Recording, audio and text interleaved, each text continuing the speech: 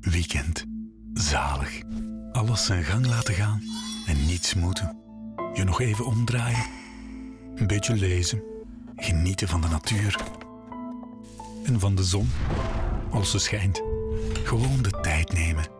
Om een varkenskroontje perfect klaar te maken.